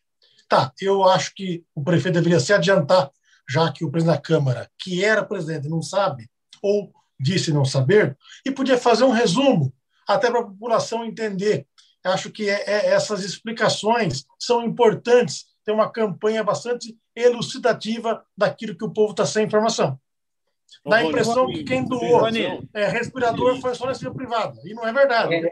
Rony, me permita só uma questão aqui. Vamos colocar três questões que eu acho que ajudam o debate. Em primeiro lugar, o dinheiro que veio do Covid foi gasto 100% em Covid. E mais do que isso, nós chegamos ao limite do nosso gasto justamente hoje, na, melhor, no dia de ontem, e nós vamos começar a usar parte daquele superávit que foi mencionado para cobrir o Covid. É, nós, é, existe isso, foi apresentado numa audiência pública e vai ser apresentado efetivamente é, pela prefeitura detalhadamente, porque os custos de uma UTI é muito alto, a quantidade do kit internação é muito alto, porque as pessoas que estão lá, né, absolutamente, inclusive o Tribunal de Contas do Paraná considera a cidade de Maringá a que melhor utilizou e mais transparência deu nisso. É, uma segunda questão também, para manter então, aqui. Também acompanhei isso. É que, é. É, na linguagem que o povo entende, a gente escuta Sim. muito comentário que poderiam ser de, de, é, extintos, né? É isso. É, não, exato. Não, mas vamos apresentar isso de uma forma didática. Essa semana ainda, eu te garanto isso, tá? A Deixa segunda questão, um... veja, só um minutinho. É, é, é ah, por, por favor, quero somente abrir um parêntese rapidamente. Claro. E não é sair em defesa da prefeitura, não, mas eu gostaria de dizer que na apresentação é, do relatório do quarto, quadro, terceiro quadrimestre é, da Secretaria de Saúde, Secretaria Municipal de Saúde, aconteceu essa apresentação na Câmara Municipal, a questão de duas ou três semanas, é, foi apresentado um relatório muito interessante, muito completo, que mostrava, inclusive, o que foi gasto com pessoal, o que foi gasto com estrutura, com equipamentos, e nos pareceu muito transparente, até, vamos dizer assim, é, muito detalhado, né? É, o vereador Alex Chaves, com certeza, não me lembro se ele estava lá naquela sessão, nós acompanhamos ela também online, né? E, mas é, é importante essa notícia que o senhor traz aí para a gente, portanto, Maringá já usou o dinheiro que o governo federal é, destinou para, para a Covid. É, vamos, é nesse sentido mesmo que eu falo. Essa apresentação, com certeza, foi elucidadora, mas pouquíssimas pessoas viram, tiveram informação. E a frase, por menor que seja do Hosokawa, trouxe um boom, percebe? Então é hora de fazer naquela linguagem curta deixa, que o povo entenda. Deixa, deixa eu te interromper. Eu acho interessante, deixa eu só... Eu já devolvo para o pro, pro Marcos ou para o Rafael, que foi fora do contexto a resposta dele. Ele eu deu vi. entrevista no mesmo dia que ia ter a apresentação dos números. Os números estão Exato. todos os dias no portal da transparência. Você abre o site da prefeitura, está lá, bum, na tua frente, os números de tudo que está sendo comprado, é, do dinheiro que veio. É muito transparente, como o Marcos falou, o uso do, do, do, recurso público aqui no município de Maringá. Mas justamente naquele dia iria ser apresentado à tarde, e aí, fora do contexto, ele não ia. Imagina, ele fala ali um número que a gente tem acesso aos números todos os dias. O Marcos sabe disso. Eu tenho acesso ao número de hoje, né? Ele já falou, ó, atingiu o gasto hoje. Até 5 horas da tarde eu não sabia disso, né? Mas, poxa, é uma informação que ele está me trazendo agora, né? Então, a gente vai trabalhando, é, é, uma cidade muito grande, muito ativa. Então, na hora que ele falou, ele estava querendo dizer o seguinte, olha, à tarde vai ter a apresentação, eu vou ter acesso aos números e eu passo os números para vocês. Apenas fazer esse, essa, esse importante... Não, mas é, é, que ele, é que ele não falou isso, ele falou que não sabia. E foi o que ficou. Pode ver que ah, o vídeo é esse. É, bom, veja, ficou, foi no calor da entrevista, se você separou o texto do contexto, fica desse jeito. Acho que é veja, Depois, no dia seguinte, ele falou isso, eu acompanhei. Eu, eu veja, queria só fazer uma só, parte só, aqui, só para selecionar para o Cordioli, não sei se é tá. possível, tá. só nessa favor, questão de transparência que foi, que, foi, que foi cobrada pelo Rony, é, hoje eu recebi uma, um, um ofício que foi encaminhado, isso até circulou, é, um ofício é, feito pelo Observatório Social e inquirindo a prefeitura de algumas alguns dados que enfim não foram apresentados e me chamou a atenção. Isso aí até circulou é, alguns grupos de WhatsApp, né, de que o Observatório Social teria chegado à conclusão que é, não há dados ainda é, elucidativos a respeito do, da, da, gestão de pandemia. E até gostaria de repassar essa, essa pergunta para o Cordioli para que ele esclarecesse, porque realmente chegou para a gente dessa forma. E o que a gente mais quer enquanto contribuinte, enquanto cidadão, é transparência, né? Não, exatamente. Veja, é, Secato, o que, o que nós prestamos conta são por quadrimestres, né? Há uma lei que fala sobre isso. Então, na apresentação do último quadrimestre, foi bastante elucidativo. Inclusive, o Observatório Social é, de Maringá é talvez o mais atuante do Brasil. Eu trabalhei no Observatório Social do Brasil, que coordena os outros observatórios sociais, e a gente sempre tinha muito claro essa referência. Então, quando eu vim para o governo, nós viemos para cá sabendo disso. E eu, às vezes, me espanto com perguntas que eu recebo do Observatório Social no bom sentido. São perguntas de pequenos detalhes que ninguém presta atenção, mas que eles prestam e que eu gosto muito disso. Agora, o que, que ocorre é, efetivamente? É, nós construímos um modelo que foi uma inovação muito importante. Enquanto muita gente foi atrás de hospital de campanha, fazer uma série de outras coisas, não. Nós ocupamos o Hospital Municipal, expandimos isso para a Zona Sul, para a Policlínica Sul, depois expandimos isso é, para a UPA Zona Norte. Tá? Então, nós fomos criando leitos de UTI, fomos criando enfermarias especializadas, fomos criando enfermarias provisórias à medida em que havia demanda. Tanto é que em Maringá, nos últimos tempos, nós andamos sempre muito na linha do 100%, mas pelo menos na rede pública nós nunca ficamos negativo.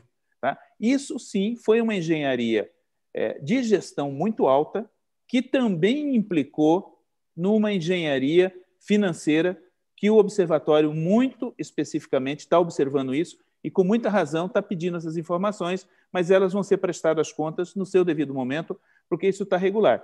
Ah, só uma outra questão aqui, a bem da verdade, meu caro Rony, é o seguinte: A prefeitura de Maringá não pode impedir ninguém de comprar vacina, muito pelo contrário. É, quem não, eu tem, sei, eu sei. É, é, né? Pelo contrário. Eu sei. Nós, Mas ela tam... pode incentivar, fica bom. Né? Não, não, não só está incentivando, nós também estamos buscando e achamos muito positivo, não só se assim, como outras empresas puderem comprar as vacinas, porque nós pensamos exatamente como você. Quanto mais vacina nós tivermos e mais rápido, muito melhor. Então, se vier vacina do governo federal, nós queremos. Se vier vacina do governo estadual, nós queremos.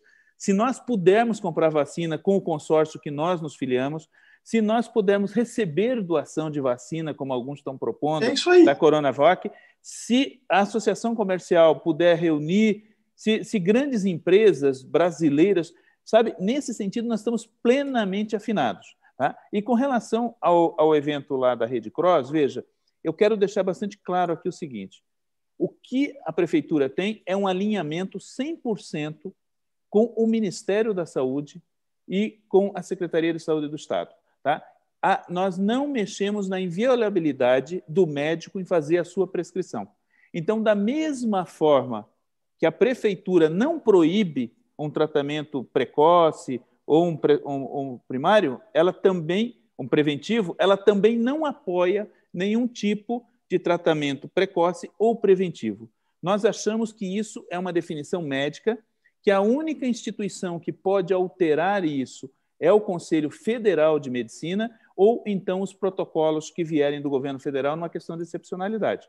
O, a Rede Cross, o que ela teve foi um problema com o Ministério Público, tá? é bastante importante dizer isso, porque ela havia tido uma, uma espécie de uma averiguação por conta do tratamento da dengue que foi feito da outra vez, em que ela adotou procedimentos segundo o Ministério Público, não sou eu quem está dizendo, tá? Eu não quero entrar nesse mérito, eu não conheço a Rede Cross, sim, sim. mas, né, é, enfim, foi esse o problema que aconteceu lá. O que a prefeitura faz, e ela faz isso diariamente, é fiscalizar todos os equipamentos hospitalares de Maringá, os planos de saúde. Né? A fiscalização que a prefeitura fez na Rede Cross na mesma época, ela acontece com regularidade, inclusive é, isso já estava determinado antecipadamente. Em nenhum momento a prefeitura foi lá investigar se havia distribuição ou não, né, etc. e tal. Né? Inclusive, é, de, poderia ter havido denúncias, mas não foi isso que a prefeitura fez. Tá? Então, é importante a gente deixar claro aqui o seguinte: tá? a prefeitura mantém claramente o alinhamento com os protocolos do Ministério da Saúde e da Secretaria de Saúde. Se um médico da prefeitura hoje é, quiser recomendar, ou se outro for contra, é foro íntimo dessas pessoas e a relação que eles têm com o paciente. Se um paciente for a uma unidade de saúde hoje da prefeitura e receber uma receita da, desse médico para um desses medicamentos, ele vai comprar e vai seguir aquilo. O que, que nós temos pedido enquanto, enquanto prefeitura? Em primeiro lugar, tá, para as pessoas observarem rigorosamente as quantidades de ingestão desses medicamentos. Né? Porque algumas, nós sabemos disso, no desespero, na preocupação, acabam. Só, só cortando, no é. caso da Red Cross, tinha médicos que iam fazer isso, então. Tem não, lógico. Veja, veja bem, esse, essa é uma instituição privada, não cabe a gente Exato. fazer isso.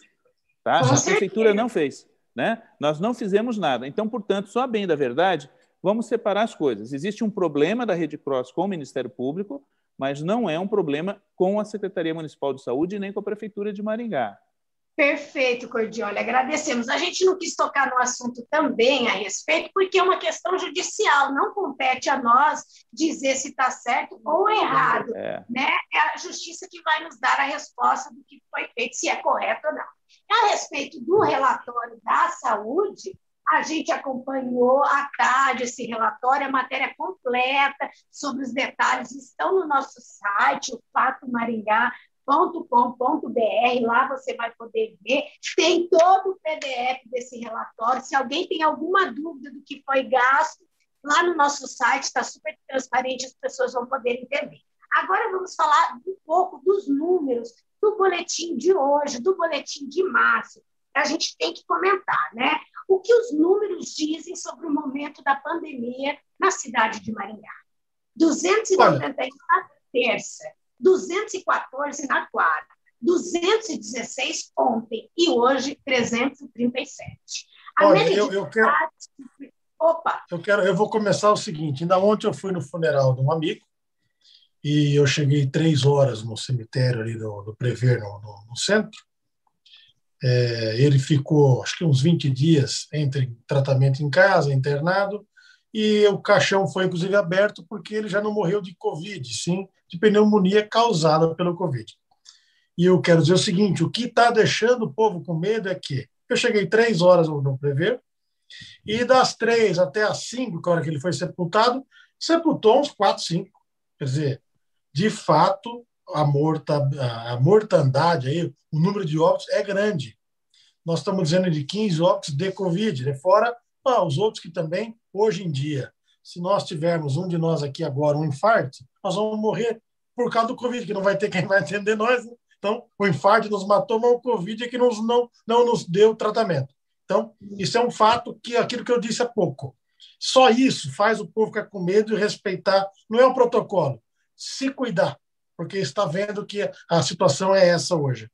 Então, os números são grandes, mas me preocupa que ainda vi hoje naquele programa da Pan News de manhã, de que Maringá tem 2 mil, 2 mil exames aguardando resultado me parece que a positivação é de mais ou menos 8, é 40%, então nós temos mais 800 casos aí que vai ser desmembrado nos dias que vai ser o resultado. Por isso que ainda não vai abaixar de imediato. Com certeza. Vamos continuar aqui os dados do, do, do boletim de hoje. Né? Então, falava, só hoje foram registrados 337 novos casos de coronavírus. A média de contágios confirmadas havia baixado mas não é essa a realidade nos últimos três dias. Foi uma um, baixou de modo sensível para 240 positivados por dia. É um número bastante é, intrigante, podemos dizer assim. Janeiro foram 4.019 contágios. Fevereiro, 4.079. E faltando cinco dias para encerrar o mês de março, nós registramos 6.913 casos de coronavírus em Maringá. O decreto que vigora até que vigorou, que vai vigorar até domingo, as regras após aquele decreto que nós falamos, último decreto, né? Aquele que fechou, mas não fechou, foi um lockdown fake, né? A gente não pode dizer que teve bons resultados para os primeiros dias de março em Maringá. Hoje, com a publicação de um novo decreto que flexibiliza ainda mais o comércio e o serviço, a tendência retornará a ser aumento de positivados. É a lógica, mas a gente circulando mesmo distanciamento e mais contágios, mais temos que ser otimistas e cobrar pela vacina, que é realmente o resultado da gente poder ter uma vida ou pretender ter uma normalidade, voltar à normalidade. E falando de vacina, o Fato Maringá já está em campanha desde o início de março para reforçar o pedido para todas as categorias que nós tenhamos que exigir a vacina para todas as pessoas. Então, esse é um pouco o balanço que nós fizemos do último boletim. Para dar sequência, Eu gostaria, só, posso fazer uma parte, Rony, porque é, esses números, na verdade, muito nos preocupam, né, Rony? Esses números, na verdade, muito, é, muito nos preocupam, porque nós estamos, o nosso setor está, está sendo sacrificado já desde, desde o final de fevereiro, né, e a gente está esperando que, se é realmente o nosso setor é o, o complicador em relação à disseminação do vírus, esses números têm que baixar de forma, de forma é, acentuada, e a gente não está vendo isso. Porém, é, a gente ainda mantém a expectativa do, de que nos próximos dias isso, a, essa, essa ideia, né, que foi que, que foi plantada de que o setor ainda é, causa que causa a transmissão, que aumenta a transmissão, é, a gente espera que isso aí realmente apresente um dado é, favorável para que a gente possa também voltar a trabalhar. Então, é, a gente é, fica muito preocupado com esse com, com essa com a manutenção desses números em alta. É, eu, eu, quero, eu quero dizer o seguinte: é evidente que os números de Maringá aumentaram, mas não foi só Maringá, certo? Sim. Nós temos o Brasil inteiro aumentando em número de contágio e de óbitos. Com Outro certeza. Ponto. Isso, isso significa que o lockdown, o lockdown, o lockdown não funciona. O lockdown está provado que não funciona. Não é a hora de fazer abertura de mais horário, vamos mudar? Outra coisa que eu gostaria de ouvir o Cordioli, ele citou o caso agora há pouco da Dinamarca, se eu não estou enganado, e me consta que na Suécia não fechou por nenhum dia, viu, é, Cordioli? E os é. números da Suécia são melhores do que da Itália, da Espanha, é, da Inglaterra, da França, proporcionalmente. Portanto, seria interessante a gente estudar o que foi feito na Suécia e, de repente, copiar aonde tem números melhores. Viu, Rony? Parece é... que a Índia tem ótimos números também. Não, viu, Rony? É exatamente o oposto. A Suécia foi a tragédia da Europa. Eles começaram... Não é o que está dizendo por, um milhão de habitantes. Não, não. Se você analisar os números de casos, a evolução da Covid, só funcionou depois que esta segunda-feira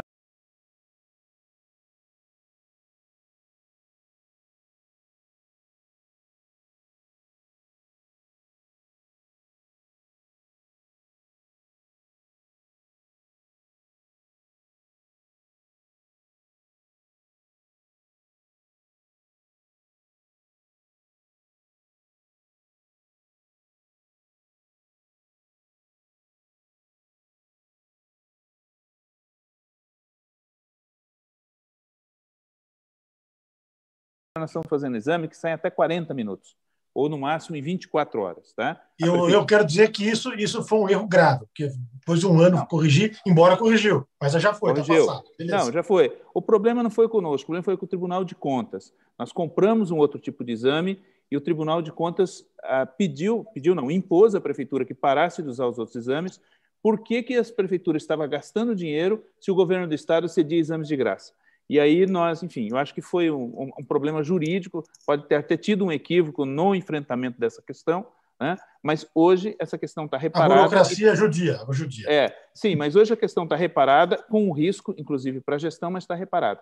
A segunda questão importante é que esses dados eles dão conta de seis dias do exame. Algumas pessoas fazem o exame três dias depois de terem sido expostas, então nós temos uma diferença grande. Assim como nós passamos a publicar desde essa segunda-feira, não mais o número de mortes registradas no dia, mas nós passamos a mostrar o número de mortes registradas no dia separado efetivamente por isso. Agora, eu quero mostrar um dado aqui para vocês, publicado hoje, agora há pouco, pela Secretaria de Saúde, no boletim epidemiológico que voltou novamente a circular agora, que mostra aqui é, rapidamente a evolução do nosso índice R. Veja, nós chegamos no momento de desespero a ter um índice R de 1 para 32.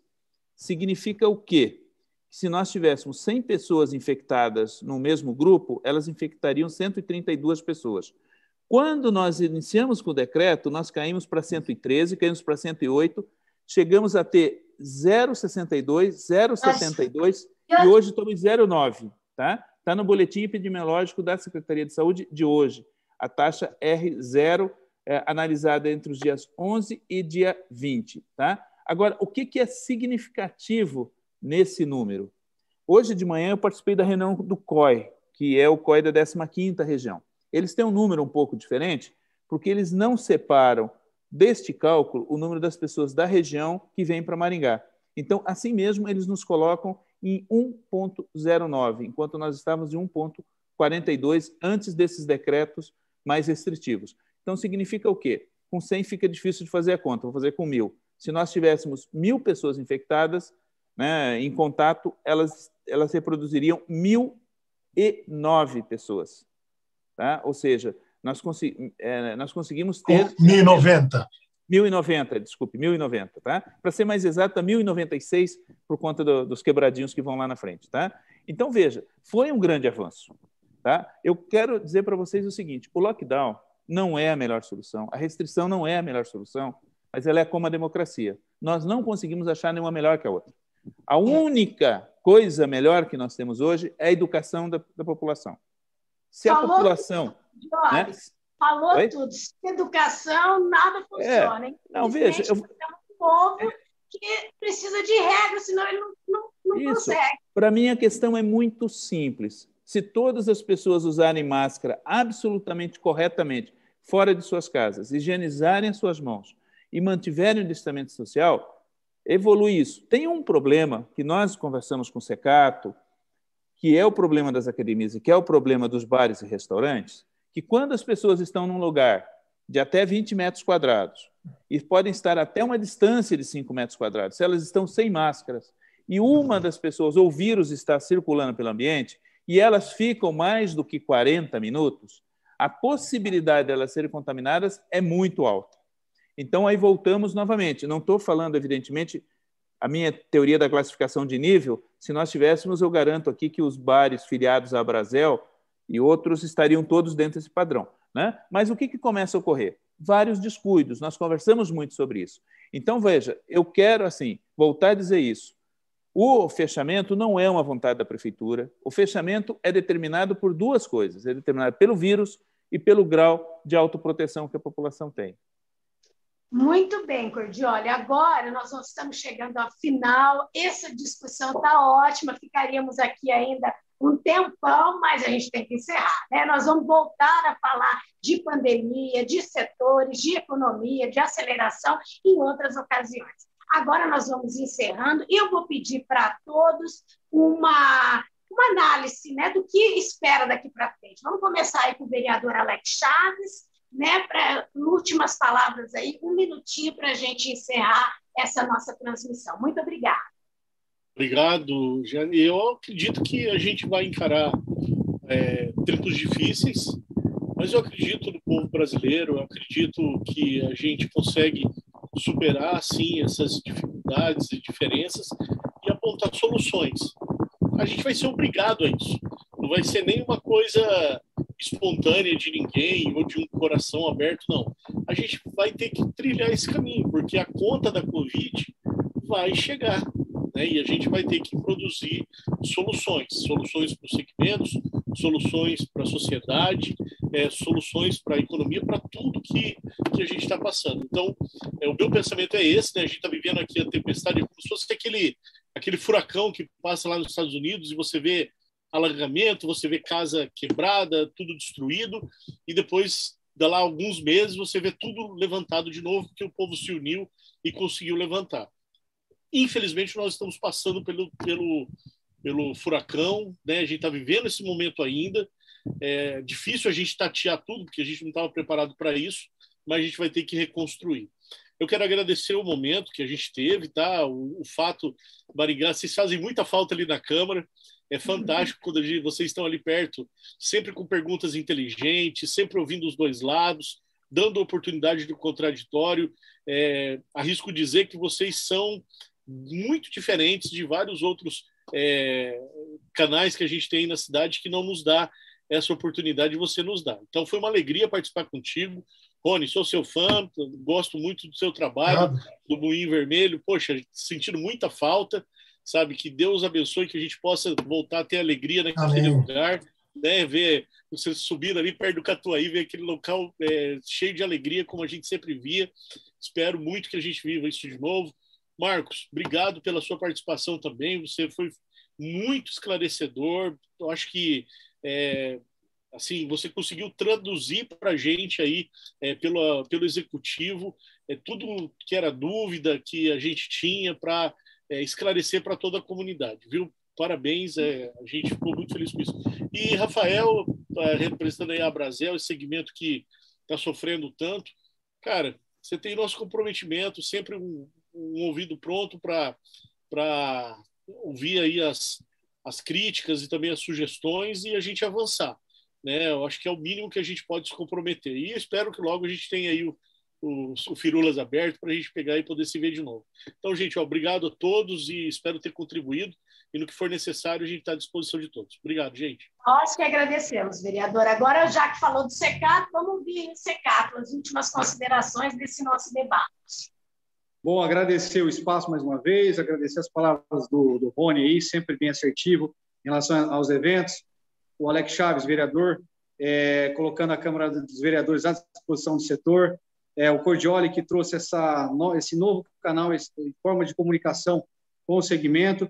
Mas dizer né, que é importante nesse pacto, né, e é, acho que é hora da gente evoluir social e politicamente, né, que as decisões políticas a partir de agora sejam tomadas com mais discernimento, com mais acerto, com mais coerência, até porque nós já temos um ano de aprendizado de pandemia, né? Então acho que a gente pode é, acertar ainda mais, acertar e corrigir erros que foram é, acarretadas no passado. E dizer que nesse, nesse plano de reestruturação, claro que a gente pensa muito a curto prazo, e a gente tem fé que a gente vai retomar uma atividade, atividade não normal, mas talvez nos próximos 20, 30 dias aí, né, para a gente voltar, pelo menos, custear as despesas básicas das nossas empresas e promover a, a manutenção do emprego, mas a gente espera, sim, né, que seja identificado é, qual setor que efetivamente foi prejudicado. Né? A gente sabe que houve setores que se engrandeceram na pandemia, né? eu não vou nem citar aqui, mas, é, enfim, a questão dos... Enfim, não vou citar porque acho que todos já sabem, né? mas que realmente o nosso foi mais sacrificado, bares, restaurantes, açaiterias, sorveterias, eventos, né? Que, que seja concedido um olhar diferenciado para quem sofreu realmente e para que a gente que a gente possa no futuro próximo não é, é, não distante que a gente, a gente espera que não seja muito distante a gente possa voltar a, a ter o entretenimento e o setor de turismo fomentado em Maringá sem menosprezo sem aquelas aquelas aqueles adágios fecha tudo como se aqui nos nossos estabelecimentos é, a gente não tivesse esse aspecto da essencialidade dos empregos. Então, fica meu agradecimento mais uma vez e coloco sempre a Brasil à disposição da Prefeitura e da Câmara dos Vereadores para a gente trabalhar em conjunto para que a gente retome nossas atividades o quanto antes. Vamos esperar que as coisas voltem rapidamente à normalidade. Agora vamos ouvir o empresário e vice-presidente do Hotel, Rony Guimarães, as suas últimas considerações.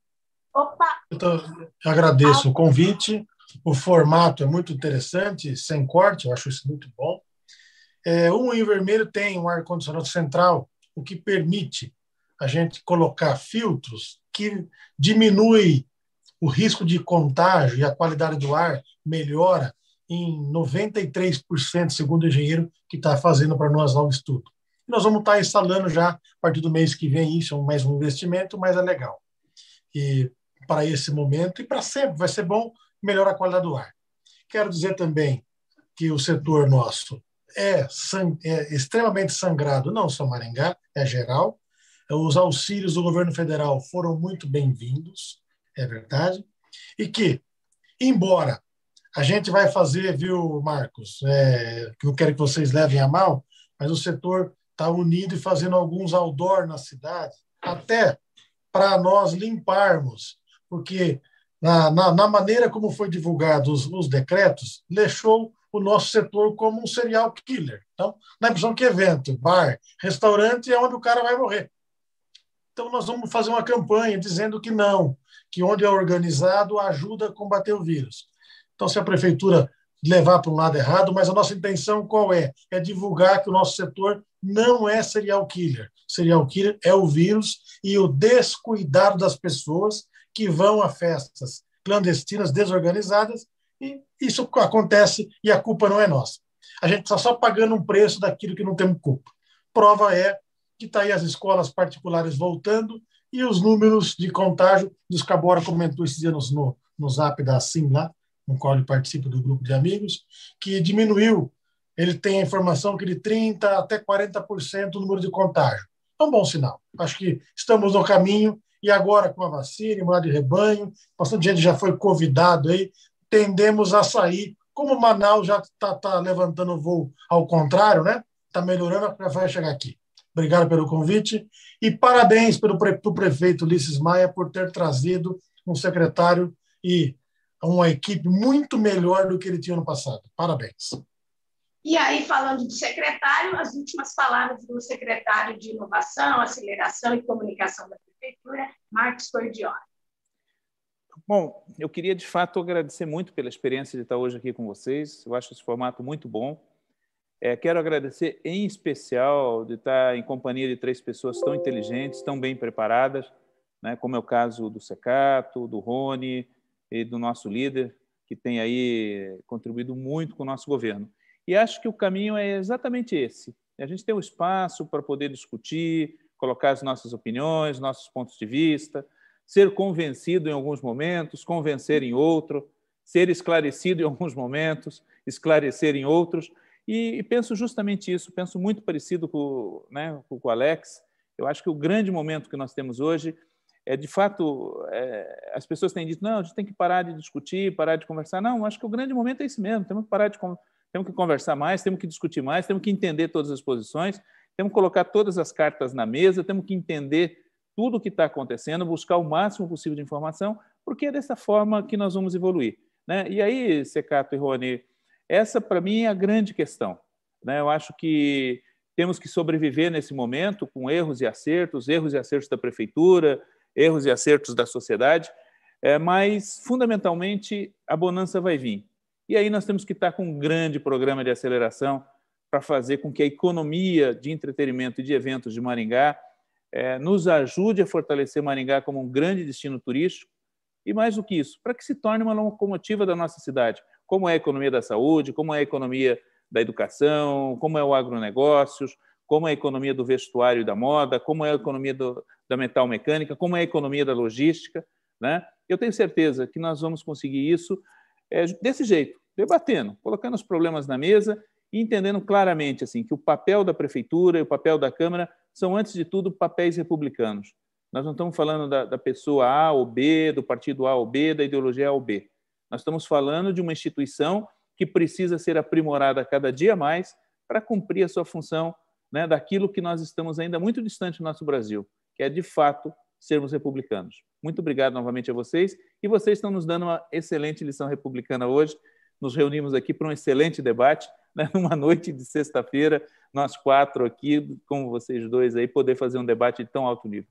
Eu saio muito transformado, saio muito feliz e, novamente, agradeço muito a vocês e meus três colegas de debate. Na próxima, o Secato paga um chopp para nós lá no Firulas. É, espero, fa espero fazer o próximo presencial lá no Firula, aí com a cortesia do Secato. O Vinho Vermelho também colocado à disposição, né, Rony? Não, aí no Vinho Vermelho nós vamos fazer uma grande festa. Vai ser diferente. A festa do fato, vou fazer lá no Moinho Vermelho. Festa do fato. Isso aí, isso aí. Bom, eu agradeço a participação de todos vocês aqui com a gente. Quero lembrar que nós iniciamos em março a campanha para a vacina para todos e peço para todo mundo que está vendo esse, esse debate, pode gravar um vídeo lá. É só entrar no nosso site e gravar o que está escrito na nossa campanha. É muito simples. É a solução. E é um fato. Vacina já para todos. Entra lá, gente. É facinho. patomaringá.com www.webtv.br. E tudo isso que nós discutimos aqui você vai poder acompanhar na nossa Web TV. Agradeço bastante a participação de todos vocês. Uma boa noite, um bom final de semana e vamos seguir com fé, que amanhã o dia será melhor. Namastê. Amém. Boa noite a todos. Boa noite. Saúde. Tchau.